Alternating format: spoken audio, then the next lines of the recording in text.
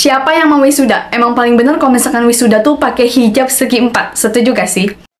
Hai, my name is Wanda Hanan Rahayu. You can call me Wanda. Welcome back to my YouTube channel.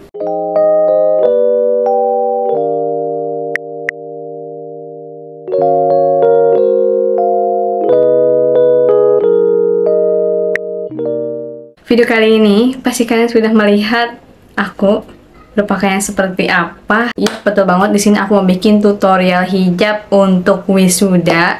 Bahkan bisa dipakai buat lamaran atau kondangan dan acara-acara formal lainnya. By the way, di sini aku juga mau kasih tahu ke kalian di video ini yaitu tips and trick agar hijab wisuda tuh tegak paripurna walaupun udah pakai topi toga tuh ya. Tuh. So, sebelum lanjut ke tips and trick dan tutorialnya, pastikan kalian udah subscribe channel ini, like videonya, komen, dan share ke teman-teman kalian. Oke, ini dia. Let's start. Asal kalian tahu ini tuh bukan pakai mika ya ataupun pakai hairspray, ini bener-bener tegak paripurna, langsung ke bentuk seperti semula, nggak ada yang berubah. Jadi kenapa hijab wisuda aku tuh tegak paripurna, aku pakai intap hijab dari Ayomira ini, ini nggak endorse sama sekali ya, ini bener-bener pure review jujur dari aku, ini sangat-sangat ngebantu banget, apalagi buat acara-acara tertentu. Dan ini dia untuk hijab wisuda di sini aku pakai tab hijab yang model glamour yang kayak gini bentukannya tuh. Dan itu emang khusus hijab segi empat. Untuk cara pemakaiannya gampang banget. Ini tab hijabnya, setelah itu tinggal dibuka aja. Lalu ditempelkan aja ke hijabnya di luar lipatan hijab. Nah, jadi udah deh tinggal ditempelin kayak gini. Setelah itu tinggal dipakai aja. Tuh, ini langsung ngebentuk hijabnya tuh kan. Langsung tegak paripurna gitu. Untuk tutorial yang pertama ini yang versi mudahnya, gampang banget. Bagian belakangnya ini dikeatasin untuk sementara. Lalu untuk kanan dan kirinya ini satu-satu dikebelakangin. Yang sebelah kiri terlebih dahulu. Pelan-pelan setelah itu yang sebelah kanannya. Nah, udah tinggal diikat nih kayak gini ikatnya ya biasa aja. Tuh kayak gini teman-teman. Hmm. Terus tinggal dirapihin deh. Tuh udah deh hasilnya seperti ini. Ini untuk style yang pertama. Gampang banget kan? Rapih gitu kelihatannya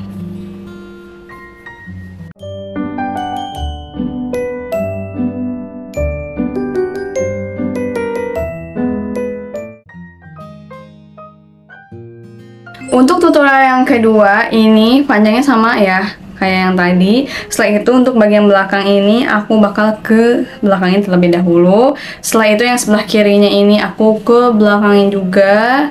Lalu yang sebelah kanannya ini, aku dilebarin terlebih terlebih dahulu. Lalu di ke belakangin kayak gini. Setelah itu sematkan jarum pentul. Tapi aku rekomendasiin kalian sematkan pakai penitih ya teman-teman supaya enggak lepas-lepas. Setelah itu tinggal dikebawahin aja. Nah, udah deh ini dia untuk style yang kedua. Tuh, rapih banget kan? Ini bagian depannya bisa kayak gini aja atau kalian bisa masukin ke dalam kebayanya ya. Kayak gini. Tuh. Udah deh, rapih banget kan? Tuh.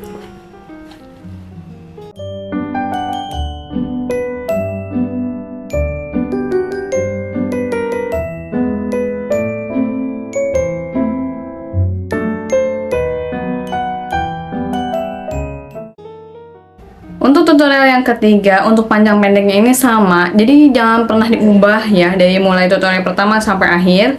Setelah itu dua-duanya ke belakangin seperti ini.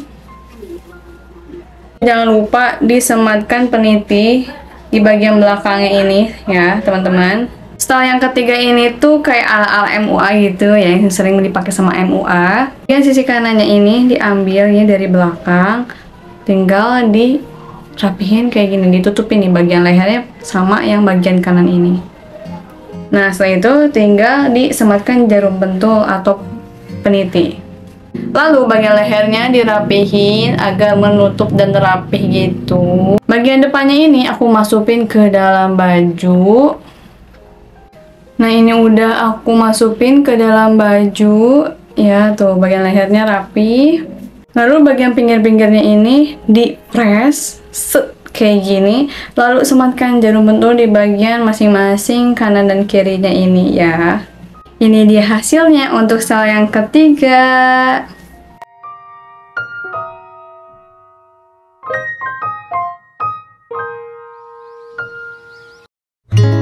Wondering if thousands of miles away The sky's just as blue Tutorial yang keempat ini sama-sama gampang banget ya. Untuk sisi kanan dan sisi kirinya ini sama panjang. Yang sebelah kirinya ini aku bakal dililitin kayak gini. Nah Pelan-pelan supaya hasilnya tuh rapi. Setelah itu tinggal diselipin aja ya. Nih diselipin kayak gini. Nah udah. Jadi kayak gitu bagian belakangnya ini aku bakal ke atasin. Lalu untuk yang bagian kanannya ini aku bakal diginiin. Setelah itu dikebelakangin ya. Nah udah deh tinggal disambung aja pakai jarum pentul ya sematkan jarum pentul atau penitih sih lebih bagusnya supaya nggak lepas-lepas. Nah tadi dikeatasin dikebawahin aja. Nah lalu tinggal rapihin bagian depannya